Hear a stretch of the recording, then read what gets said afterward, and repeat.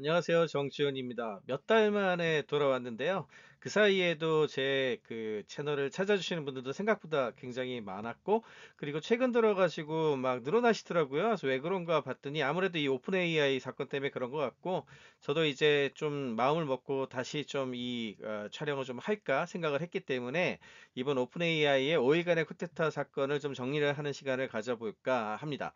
어, 원래는 한 번에 다 찍으려고 그랬는데 내용이 생각보다 되게 많아서 두 번으로 나눠 가지고 어, 오늘은 분석, 그러니까 뭐 심화 분석을 하는 건 똑같지만 기본적으로 무슨 일이 발생을 한 거고 왜 발생을 했는지 원인이라든지 어, 사람들에 대한 이야기를 좀 많이 해볼 생각이고요.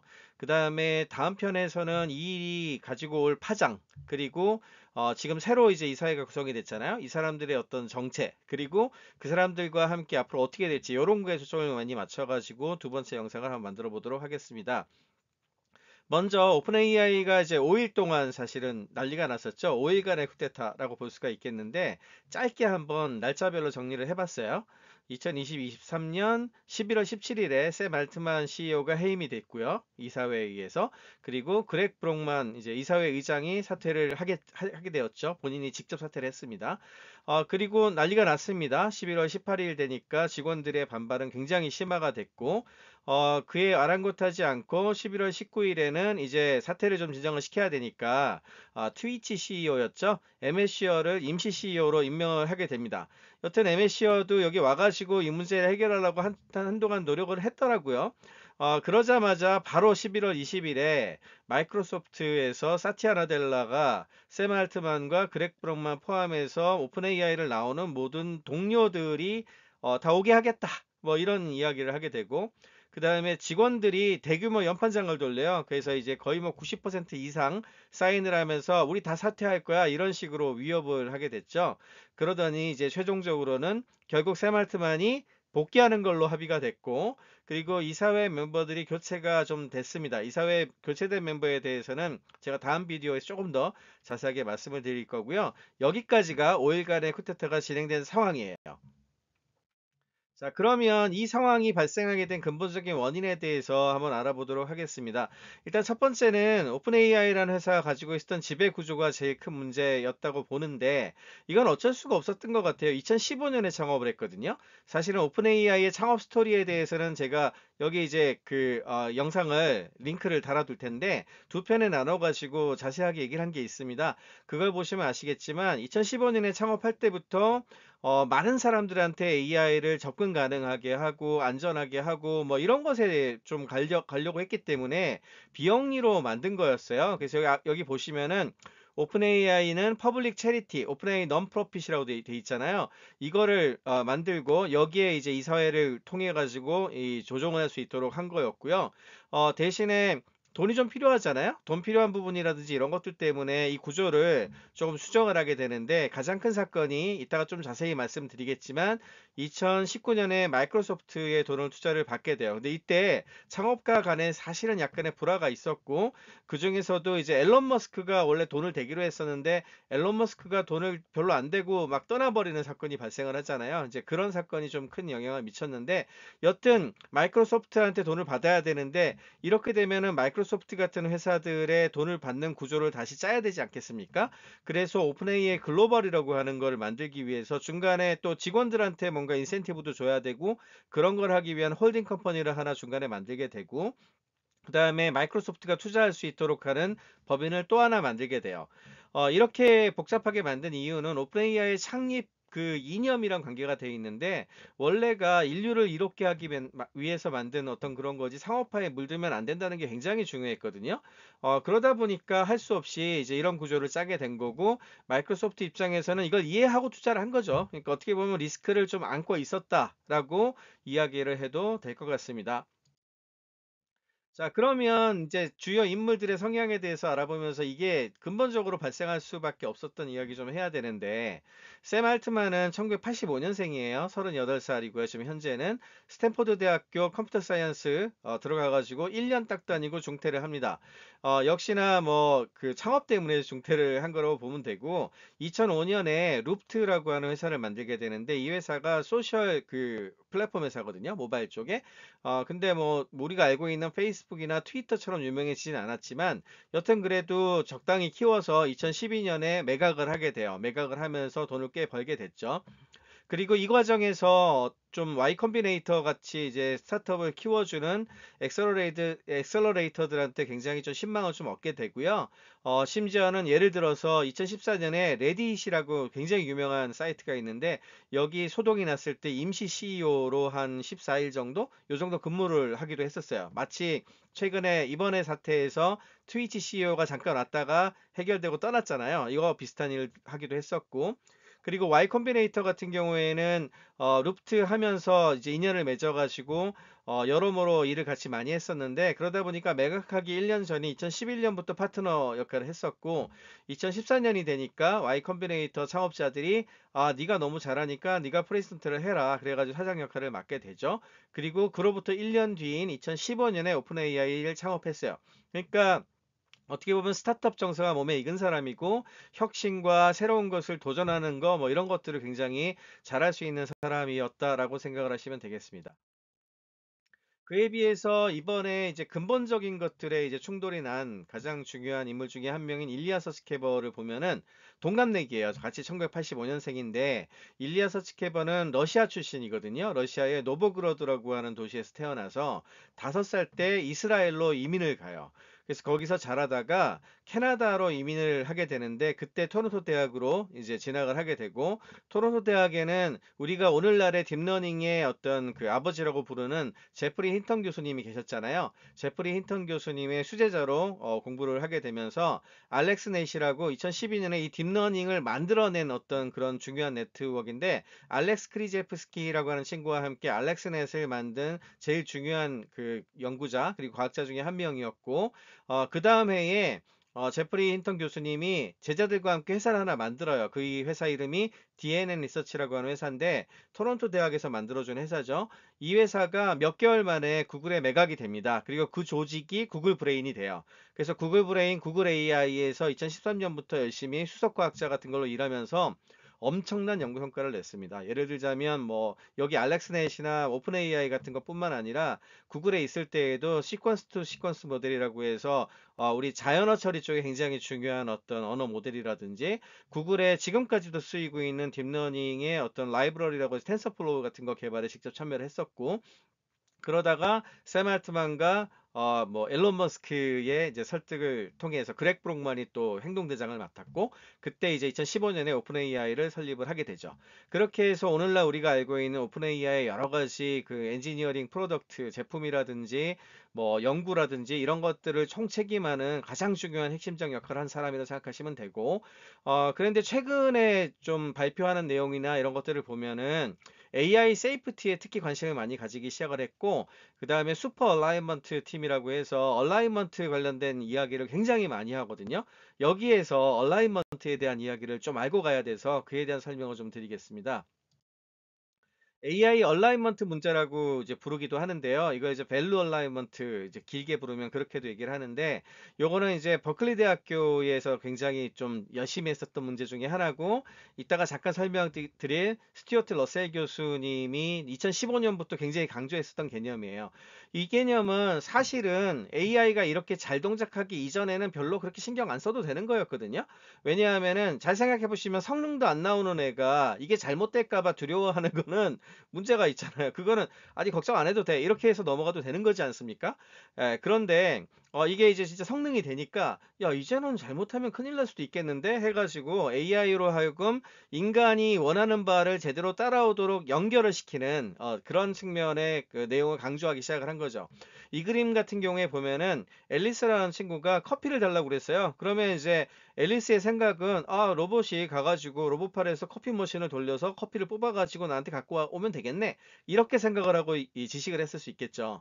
그런데 이 로봇이 잘못 생각을 하면은 아니 커피를 좀 갖다 달라는데 커피 내려가지고 갖다 주는 게 아니라 어디 가가지고 커피빈을 훔쳐다가 분쇄를 한 다음에 이거를 뭐 어떻게 해가지고든 커피를 갖다 주기만 하면 되는 거니까 여기에 범죄라든지 또는 잘못된 어떤 행동이라든지 엉뚱한 거를 하지 말라는 이야기를 따로 하진 않았잖아요. 근데 인간은 그 얘기를 하지 않는 이유가 뭐냐 하면은 인간들은 그냥 커피 좀 내려달라고 가, 져다 달라 그러면 저렇게 할 거라고 다들 알고 있고 커피빈을 가지러 간다든지 훔친다든지 이런 생각을 안할 텐데 그에 대한 것들은 인간은 내재적으로 알고 있잖아요. 그런데 어, 로봇은 그런 것이 프로그램되어 있지 않으면 안 할 수가 있지 않습니까? 그러면 이제 진짜 범죄라든지 이상한 일을 할 수 있다는 거죠.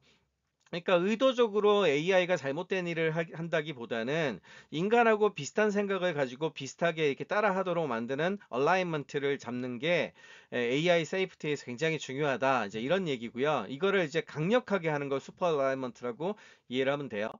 어, 근데 이제 이거를 제일 많이 하신 분이 바로 여기 계신 스튜어트 러셀 교수님이고요. 이 스튜어트 러셀 교수님은 버클리 대학교 이제 computer science EECS 교수님이신데, 어, 이분이 2015년부터 이 alignment에 대한 이야기를 굉장히 많이 하셨고요. AI에서는 전설적인 인물이에요. Artificial Intelligence라고 하는 교과서를 쓰신 분이거든요. 어, 스튜어트 러셀 교수님이. 어, 그러면서 최근에 책도 쓰셨죠. Human Compatible AI라고 하는 책도 쓰시고, 그와 관련된 다양한 활동들도 굉장히 많이 하시고요. 그리고 뭐 좀 유명한 거는 어 이번에 그 이 이사회 사건이 나면서 이사회 멤버들 중에 뭐 가끔은 들어보셨을 거예요. effective altruism, 뭐 효과적인 이타주의자, 뭐 이런 이야기 많이 들으셨을 건데 이게 사실 뿌리가 굉장히 깊어요. 그 이전에는 뭐 FLI라고 하는 어떤 조직도 있었고 그 앞에 가면 transhumanism이라고 하는 것도 나오고요. 어, 그 앞에 이제 옥스퍼드 대학교에 있었던 뭐 어, 굉장히 유명한 superintelligence를 얘기한 닉 보스트롬 어, 같은 교수님들도 계시고 이분들의 어떤 그, 그 결합체 같은 것들이 굉장히 오랫동안 있었고 그리고 거기에서 funding을 받아가지고 만들어진 굉장히 많은 어, 전 세계적인 어떤 어, institute 연구소 같은 것도 굉장히 많은데 그거에 서포터이기도 하고 이게 영, 그 펀드를 받아가지고 연구를 하시는 분이시기도 하거든요. 어, 그래서 스튜어트 러셀 교수님이 이제 이런 이야기를 굉장히 제일 먼저 하셨던 분 중에 한 분이고요. 어, 그러면 이제 OpenAI 사회 이사진을 보면서 한번 좀 생각을 해보면은 여섯 명이었잖아요. 일단 쫓겨난 그렉 브록만하고 일단 뭐 CEO였던 샘 알트만이 사내에 두 명 이사진이 있었고 그 다음에 이제 반란을 주도 한 걸로 알려진 일리안 서스케버가 있었고 나머지 세 사람이 아담 단젤로가 있고요. 아담 단젤로는 어 이제 다시 또 이사 선임이 됐으니까 어 다음 시간에 더 자세히 얘기할 어, 더 다음 시간에 더 자세히 얘기를 할 건데 이 사람도 대단한 사람이거든요. 저도 이 히스토리에 대해서 제 제가 쓴 거의 모든 AI 아, 거의 모든 IT의 역사에도 나오는 인물인데 어, 좀 자세히 얘기하도록 하, 얘기하도록 하고 음, 두 사람이 이제 여성분이 있는데 한 명이 타샤 맥컬리라고 하는 분이고요. 이분도 정말 대단하신 분이에요. 어, 뭐 많이 알려진 거는 조셉 고든 레빗이라고 유명한 헐리우드 배우의 와이프이기도 해서 많이 알려졌고 어, 이, 이분의 이제 그 커리어를 보면은 NYU에서 공부를 했었거든요. 어, 뉴욕에서 공부를 했었거든요. 근데 공부하고 나서 소방수로 실제 일을 했어요. 그러니까 굉장히 위험한 것을 구하는 거에 일을 실제 했던 분이기도 하고 그 다음에 언어도 영어도 기본적으로 잘하지만 어, LA 출신이니까 영어도 굉장히 잘하지만 스페인 스페인어도 잘하고 아랍어를 굉장히 잘한다 그래요.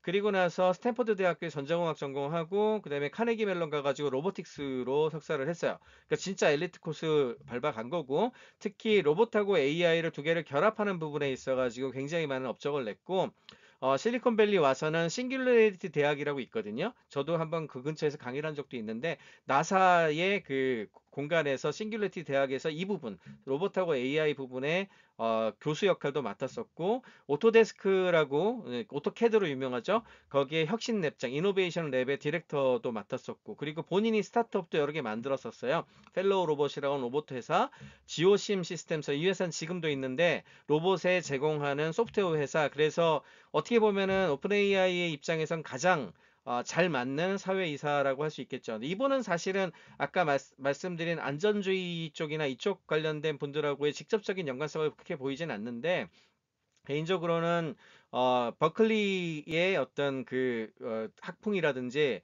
그쪽 지역의 로봇 쪽 하시는 분들이 조금 더 안전에 좀 민감하거든요. 그래서 그런 부분들이 좀 영향을 미치지 않았을까 뭐 그렇게 생각을 하고 있습니다.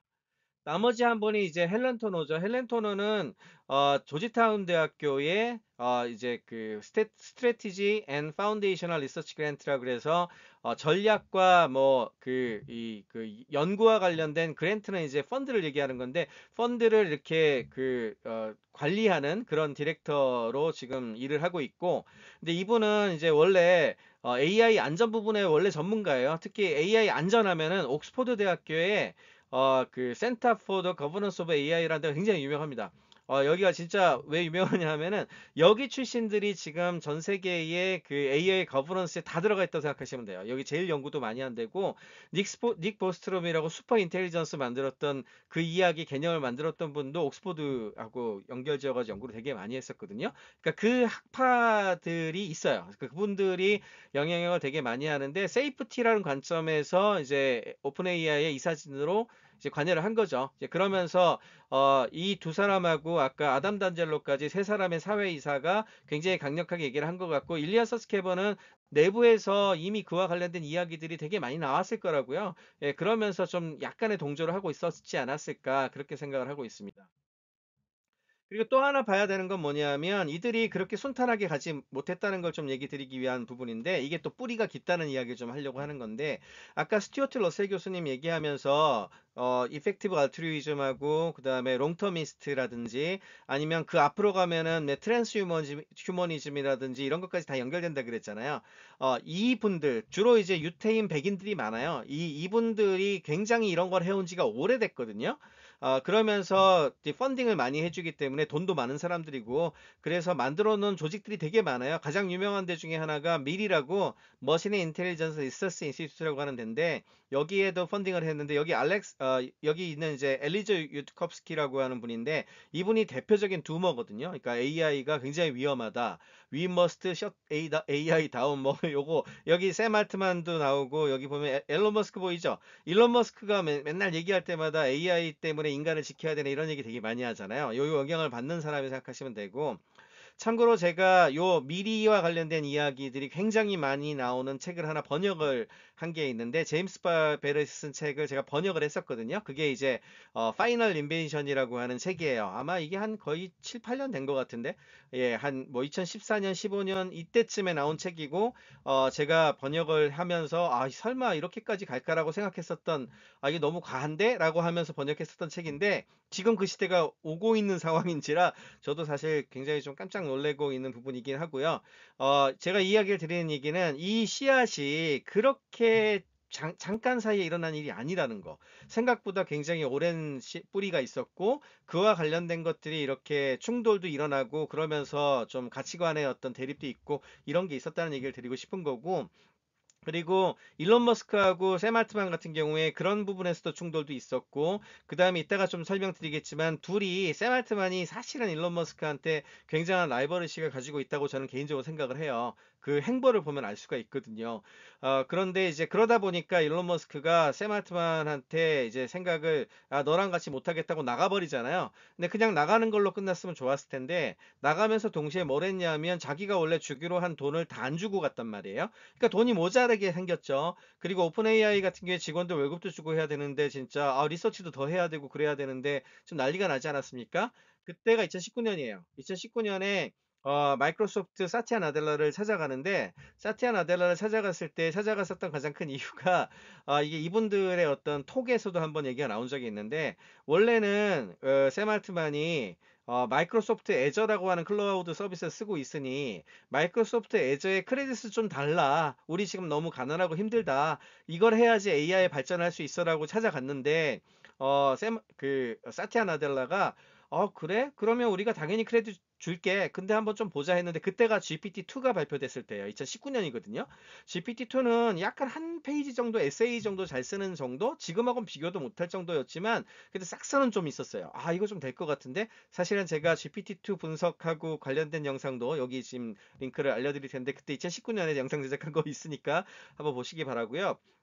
아, 그랬는데 이제 사티아 나델라가 대단한 거예요. 왜냐하면 그때 이미 아 이거 세상이 바뀔 수도 있겠는데 하는 생각을 하고 아, 안 그래도 지금 앨런 머스크도 떠났고 이제 돈줄이 없다는 얘기잖아요. 돈줄이 없는데 내가 도와주겠다 하면서 이제 사티아 나델라가 원- 1조 원을. 야, 1 빌리언 달러를 여기다가 투자를 합니다. 그러면서 오늘날 우리가 알, 알고 있는 어, 마이크로소프트의 지분을 어, 갖게 돼요.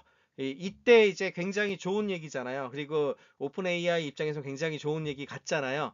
그런데 요거를 하기 위해서 아까 말한 그 구조를 만든 거라고. 그러니까 영리 관련된 것들이 들어올 수 있는 구조를 만들고 그 다음에 어, 영리 추구를 하는데 대신에 일정 정도 이상의 돈은 못 가져가게 하고 그 캡을 씌웠는데 근데 사실은 그 캡을 다 달성하기 어려울 정도의 캡이긴 해요. 여튼 그렇게 넘어가는 건 비영리에 귀속이 되고 여전히 거버넌스 구조는 비영리 그, 그 이사회가 다 결정한다. 요 구조를 만들어 놓은 거고 어, 사실은 마이크로소프트가 안이한 건 설마 여기에서 지금 오늘 날 일어난 것 같은 이런 사태가 벌어질까라고 생각했을 것 같아요.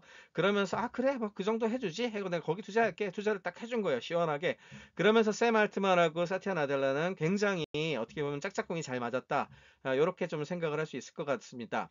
그랬는데 내부에서 이미 창립 초창기부터 뭘 할 거라는 걸 다 알고 핵심 엔지니어들과 이런 사람들 데리고 왔을 거 아니에요. 그랬는데 마이크로소프트가 나타나가지고 이렇게 하니 야 이게 뭐지? 이거 큰일인데? 이건 말도 안 돼? 라고 반발하는 사람이 나오지 않겠습니까? 그래서 이게 발표되자마자 앨런 머스크가 나갔듯이 진짜 가장 중요한 사람들이 몇 명 나가게 되는데 그 사람들이 여기 보여드리고 있는 다리오 아모데이하고 그 다음에 다니엘라 아모데이 남매입니다 남매 이 두 남매가 나가게 되는데 이 다리오 아모데이 진짜 천재입니다 이분은 어, 어, 그 물리학 전공했거든요. 물리학 프린스턴 대학교에서 물리학 전공을 했는데 하버드에서 biophysics 쪽으로 하고 AI를 이용을 해가지고 뭐 신약 찾고 하는 것에 대한 연구도 하고 그러다가 AI에 푹 빠져가지고 아 이거 진짜 AI 제대로 해야 되겠는데 해가지고 오픈 AI에 와서 오픈 AI의 scale-up 그러니까 이거 엔지니어링적으로 잘 돌아갈 수 있도록 만들어가는 구조라든지 그 다음에 과학적인 어떤 그런 구현 방법이라든지 진짜 전형적인 엔지니, 엔지니어거든요. 그런 거를 다 하면 서 만들고 있었는데 여 동생이 사실은 윤리학이나 이런 거 전공을 하고 미디어 커뮤니케이션 담당하고 이랬었어요. 엔스로픽에 대한 창업 스토리는 여기 링크에 또 한번 찾아보시면 제가 어, 여러분들이 또 자세히 보실 수 있으니까 그건 그걸 어, 참고하시면 될 것 같고요. 그리고 자기하고 동조하는 몇 명을 더 데리고 나가요. 그 몇 명이 굉장히 중요한 인물들이었어요. 오픈 AI에 지금 강력한 서비스를 할 수 있도록 scale-up 하는 사람들이라든지 이런 사람들을 어 그 왜 나갔냐? 어, Anthropic이라고 하는 회사가 가지고 있는 그 mission을 보시면 아실 수가 있는데 지금의 성능이 굉장히 뛰어난데 이거를 영리의 손에 맞춰 놓으면 맡겨 놓으면 큰일이 난다. 그래서 지금 우리는 AI의 safety 부분하고 여기 이제 아, Anthropic이라는 회사를 창업을 한 그 Anthropic이 사실은 어, Constitutional AI라고 하는 이론을 처음 만든 기업이고 그 이후에 어, 성능은 크게 저하되지 않으면서 인간이 생각하는 어떤 여러 가지 사회의 어, 어떤 문제점을 그 자극하지 않게 만드는 예, 그런 부분들에 대한 기술들을 최대한 많이 집어넣는 그 기업이라고 생각하시면 돼요. 예, 그런 부분들을 굉장히 중점적으로 생각을 했는데 이렇게 마이크로소프트 같은 데가 들어와서 상업화의 물결로 가게 되면 이거는 절대 못한다. 그래가지고 나와서 Anthropic을 만든 거죠. 그리고 Anthropic은 잘 아시는 것과 같이 어, 최근에 이제 아마존이랑 구글이 동시에 수조 원대 투자를 했잖아요. 그러면서 지금 현재 그 오픈 AI의 가장 강력한 경쟁자로 급부상을 하고 있는 곳이고 어 그리고 최근 이번 사태하고도 지금 어떻게 보면은 완전히 무관하지 않다고 생각을 할 수 있는 게 이 사태를 수습하기 위해서 로이터에서 나온 뉴스를 좀 catch해가지고 왔는데 오픈 AI의 이사진들이 Anthropic의 요 그 CEO들한테 합병 제안을 했다 이런 뉴스까지 나왔죠. 그러니까 자기네들이 생각하기엔 Anthropic의 방향이 맞고 오픈 AI에서 이렇게 하면 안 된다고 생각을 했다는 거죠. 그러니까 그런 거는 이제 충분히 이해가 되죠. 개인적으로는 요 다리오 아모데이하고 뭐 올 여름에 어 같이 그 어 같은 세션에서 제가 사회 보고 불러가지고 같이 뭐 세션도 하고 했어가지고 그, 그의 어떤 생각을 많이 들을 기회가 있었는데 어 진짜 뭐 엔지니어로서도 훌륭하지만 어떤 사회적 어, 파장이라든지 이런 걸 충분하게 생각을 해가지고 좀 프로젝트를 하고 있다는 생각이 좀 들었고 개인적으로는 이번 사건으로 인해 가지고 뭐 오픈 AI가 독주를 하네 그리고 구글이 못 따라오네 뭐 이런 얘기 하시는 분들 굉장히 많은데 그거는 구글 쪽 이야기를 못 들어서 그렇고 사실은 못 내놓는 게 아니라 안 내놓고 있다고 저는 보고 있거든요. 지금 샘 알트만의 성향처럼 그렇게 막 달려가는 쪽을 어, 선호하지 않는 사람들도 많다고요. 그리고 그런 부분들에 대해서 조금이라도 더 좀 더 잘 만들어가서 내놓겠다라고 하는 그런 부분들이 좀 있는 거지. 좀 더 신중한 거죠. 쉽게 말하자면. 어, 그렇지만 이제 이걸 이제 시장으로 해가지고 막 끌고 가니까 대응할 수 없, 없 대응을 안 하면 안 되는 상황이 지금 됐잖아요. 그렇기 때문에 이들도 이제 영리 기업한테 펀딩을 받으면서 어느 정도 지금 따라가려고 같은 속도로 좀 페이스를 맞추려고 노력하는 과정 중이라고 이해를 하시면 될 것 같습니다. 그리고 이 사건이 일어나게 된 가장 큰 어떤 계기라고 하는 거는 사실은 샘 알트만의 독주로 시작이 됐다고 저는 생각을 해요. 스타트업 accelerator 대표잖아요. 그래서 속도전에 엄청나게 능하고요. 그리고 오픈 AI가 투자를 받을 때 그뭐 아, 클라우드 비용으로도 쓰고 뭐 기계도 사야 되고 뭐 엔비디아에도 돈 많이 줘야 되고 뭐 직원들 월급도 줘야 되고 뭐 돈 많이 들죠. 근데 그럼에도 불구하고 굉장히 많은 돈을 펀드로 따로 떼내 가지고 적극적인 투자를 또 합니다. 합니다. 그래서 스타트업 생태계를 만들어내려고 하는 노력도 굉장히 많이 하거든요. 그런 것도 하지. 어, 그 다음에 어, 전 세계 투어를 하는 것처럼 전 세계적인 팬덤도 가지고 있지. 전 세계 각국의 그 정상들이 만나고 싶어 하는 그런 사람 됐지. 영향력도 확대가 됐고, 저는 나중에 정치도 할 거라고 생각이 좀 드는데, 어, 여튼 뭐 그런 거 했지. 그리고 자기가 또, 자기가 또막 투자해가지고 자기 스타트업을 계속 만들어요. 제일 유명한 월드코인이 제일 유명하잖아요. 월드코인 뭐 한국에 왔을 때도 질문도 막 나오고 그랬던 걸로 아는데, 그거 이외에도 이 사람이 투자한 회사 유명한 게 두 개가 있는데, 레트로바이오 사이언스라는 회사가 있고요. 이 회사는 뭐냐 하면은, 어, 노화를 역행시키는 거와 관련된 기술을 연구하는 스타트업이에요. 노, 늙지 않고 싶어가지고. 그런 거. 헬리온 에너지라는 회사에도 굉장히 많은 투자를 했는데, 이거는 핵 융합 발전하는 에너지 쪽 회사거든요. 둘 다 대단하죠. 어떻게 보면은, 어, 인류가 꼭 극복해야 되는 그 난제를 해결하고자 하는 그런 이야기잖아요. 근데 재밌는 거는 생각하는 게 일론 머스크랑 비슷하죠. 일론 머스크는 원래 처음에 이제 그 시작할 때 세 가지 꿈이 있었다고 얘기를 하잖아요. 지금의 에너지 시스템은 화석연료 때문에 난리가 날 테니 이걸 태양광 중심의 신재생으로 바꾸자. 그게 솔라시티고 그 다음에 자동차도 이 powertrain이 바뀌어야 되는데 이게 이제 테슬라고 테슬라가 솔라시티를 샀기 때문에 이 두 개는 한 회사가 됐고요. 그 다음에 언젠가는 화성에 가서 살아야지 이 지구가 잘못됐을 때의 어떤 대피처가 필요해. 그래가지고 어, 만든 게 스페이스 X 아닙니까? 이 세 가지도 정말 대단한 미션을 가지고 만든 회사들이긴 한데 어, 그 샘 알트만이 투자를 해서 만든 회사들을 보면 월드코인 세 개잖아요. 이것도 보면 월드코인, 레트로바이오 사이언스, 헬리온 에너지 보면은 하나는 기본 소득과 관련된 어, 모든 그 지구인들이 잘 좀 평등하게 살 수 있도록 하는 거와 관련된 그런 프로젝트. 그리고 뭐 어, 노화를 되돌리는 거. 그리고 핵융합. 이 세 가지도 다 엄청난 프로젝트들 아닙니까? 근데 하나도 앨런 머스크가 하는 거랑 겹치는 건 없어요. 그러니까 본인만의 독자적인 뭔가를 하고 있다는 거죠. 그리고 최근에 이제 뭐 이거는 이제 완전히 공식화된 건 아닌데 내부에 설로 나온 거는 프로젝트 티그리스라고 우리가 언제까지 엔비디아의 정수태 살아야 되냐. 엔비디아의 저거를 무너뜨릴 수 있는 어떤 그 반도체 칩 벤처를 만들겠다 하는 그 프로젝트거든요. 그걸 추진을 하고 있었고 소프트뱅크랑 같이 새로운 AI 스마트폰 스타, 스타트업을 만들겠다 뭐 이런 것도 하고 있었거든요. 그러니까 이거 보면은 어마무시한 일을 오픈 AI 이외에서 또 하고 있잖아요. 그러니까 이게 내부에서 사실은 직원들이 막 불만이 여러 가지 얘기가 나왔다고요. 그리고 레딧 같은 데 보면은 막 흘러나오는 얘기들이 많아요. 자신 그 내용을 뭐 대충 보면은 자신의 인기에만 집착한다. 자기가 일론 머스크나 스티브 잡스처럼 되고 싶어 한다. 뭐 샘 알트만이 원래 어렸을 때 제일 첫 번째로 쓴 컴퓨터가 맥킨토시라 그러더라고요. 그리고 어렸을 때 제일 존경했던 인물이 스티브 잡스래요. 그러니까 스티브 잡스하고 일론 머스크하고 보면서 어, 일론 머스크는 사실은 자기하고 나이 차이가 한 뭐 10살, 12살 정도 차이 나는데 어때 어, 10, 13살? 85년생 71년생이니까 14살 차이네요. 어쨌든 많이 형이긴 하지만 어떤 어쨌든 지금 현재 영향력을 갖추고 있는 걸로 보면 라이벌로 생각할 수도 있지 않겠습니까? 뭐 이런 것들 때문에 샘 알트만이 막 빠르게 나가려고 하는 예, 그런 성향을 가지고 있었다는 얘기들이 굉장히 많이 나오고 그에 대한 내부 직원들의 불만, 그 다음에 일리안 서스케버 같은 사람은 진짜 AI의 미래에 대해 걱정을 하고 있잖아요. 그런 사람 입장에서는 야, 저 뭐냐, 이제 이런 생각을 하기가 되게 쉽죠. 그리고 내부에 있는 직원들도 그런 생각을 하는 사람들이 많았을 것 같아요. 그랬는데 잘 아시는 바와 같이 복귀를 하게 된 가장 큰 계기는 어, 연판장을 돌렸는데 거의 95%가 샘 알트만을 그 복귀시켜라. 이거에 지지 서명을 했잖아요. 그리고 자기네들은 어, 안 그러면은 마이크로소프트로 갈 거야. 이렇게 했고, 심지어는 거기에 일리아 서스케버가 이 소, 소란의 주인공 중에 한 명이었던 일리아 서스케버까지 사인을 했지 않습니까? 그러면 이 사람들이 진짜 95%가 다 세마트만 정말 지지해서 사인했을까? 저는 그렇다고 생각하지 않아요. 그건 진짜 잘못 해석하는 거라 생각을 하는데, 불만 세력은 생각보다 굉장히 많았을 거라 생각을 하고요. 그런데 문제는 뭐냐? 이 사회가 일을 그지같이 했죠. 솔직히 말이 됩니까? 아, 만약에 진짜 이거를 되돌리고 싶었다면은 샘 알트만한테 공개적으로 서한을 이렇게 바깥에 공개하면서 이거 너무 위험하니까 이런 걸 해라라든지 아까 말한 그런 혼자 막 사회에서 이익 추구하는 거 이런 것도 그냥 얘기해가지고 발표도 하고 예, 그러면은 이제 밸런스를 좀 잡아야 되잖아요. 수습도 하고. 그러면 아 그래 내가 알겠다 가가지고 뭐 이럴 수도 있는 거고. 그 다음에 직원들한테도 그런 이야기 들어가지고 우리 편을 좀 더 만들고 해서 어, 지지를 받아가면서 이 사회가 뭐를 이렇게 해나가야 되는 거지?